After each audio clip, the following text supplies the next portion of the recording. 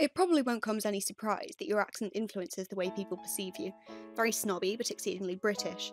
Well, it seems common sense, but for that exam you're going to need a theorist, so how about Thomas Pear, 1931? He said that people have vastly different opinions of individuals based entirely off accent. For example, Lawrence Workman found that people who said nothing were perceived to be more intelligent than those who spoke with a Brummie accent, which seems more than a little harsh, but hey, here we are. So let's just launch straight into the Brummie hating theories, starting with Dixon, Mahoney, and Cox 2002, with a hilariously unfortunate set of names. Using the matched guise approach, an approach introduced by Lambert in 1960, they had participants judge whether a suspect was guilty or innocent by listening to a dialogue between a Confederate and a police officer. One group listened to a Brummie suspect, the other to an RP speaker. The Brummie was perceived as significantly more likely to be guilty than the RP control. Howard Giles, 1975, had a group of students listen to a lecture on psychology, given by someone with either an RP accent or a Brummie accent. The RP speaker was rated higher on intelligence and competence after the lecture. More generally speaking, the further from RP you get, the dumber you're perceived to be. This can actually provide genuine problems for people of working class backgrounds. Trudgill, finding in 2000 that teachers perceived students with working class accents as having less educational potential. It's definitely not just been him to identify this problem either. Seligman, Tucker, and Lambert, 1972, found teachers' opinions of their students across all planes was impacted by accent. Very similar to how Choy and Dodd in 1976 found teachers judged students' personalities and ability based on the way they speak. Fair enough, Trudgill did also say that RP speakers are by default seen as unfriendly, but this doesn't present nearly as much of a problem as how teachers will literally disregard students' ability based on their inflections. We've built a language system so that power is attached to RP, something Bonfiglio 2002 elaborated on, saying that language itself holds no power, only what we associate with it, power through connotation. And then Thomas Paul made the exact same point.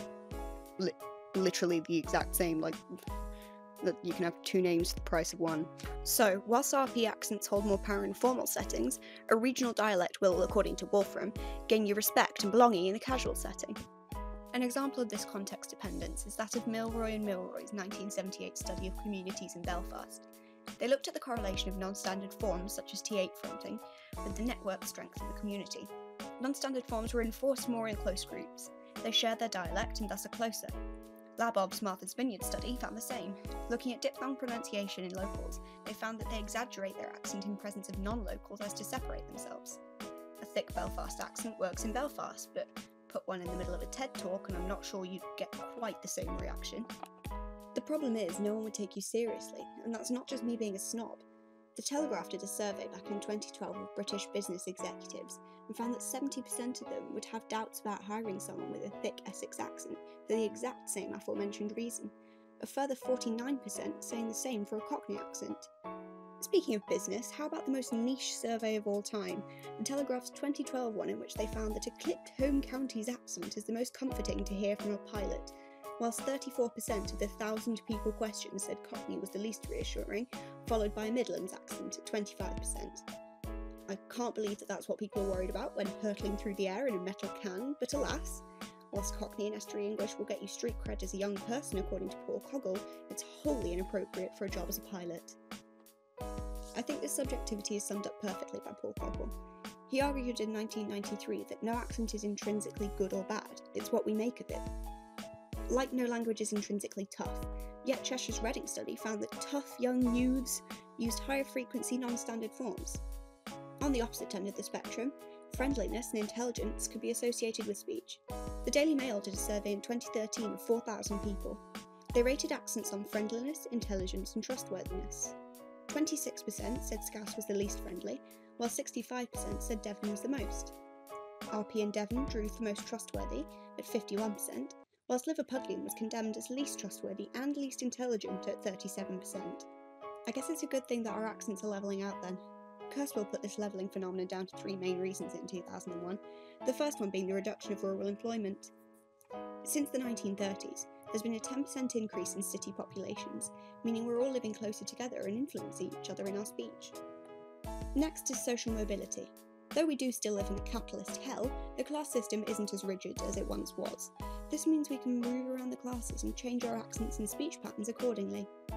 Lastly is increased interaction with people of other speech varieties, which seems a little redundant given it's literally exactly what the other two mean, but if you need to include a third, there you uh, go. Milroy and Milroy added another reason in 2002 geographical mobility. We're now more than ever able to move around intra and internationally, interacting with people of all different speech types. In spite of this, Neuliep and Speten-Hansen 2013 found our ethnocentricity impacts our views of others' speech. They tested participants for ethnocentricity and divided them into two groups. One group watched a video of a man speaking in an unrecognisable non native accent, whilst the other group saw the same man speaking in a standard American accent. They were then asked to rate how attractive, credible, and like themselves the speaker was. The more ethnocentric participants gave the non native speaker a lower score. But I digress. Foulkes and Docherty, 1999, said the opposite of levelling is happening too. We aren't necessarily losing our regional quirks, but they're spreading. TH fronting, that originates from the Thames estuary, has spread as far as Glasgow. It's thriving. That's it, I think. I hate this module. It's big and not very interesting.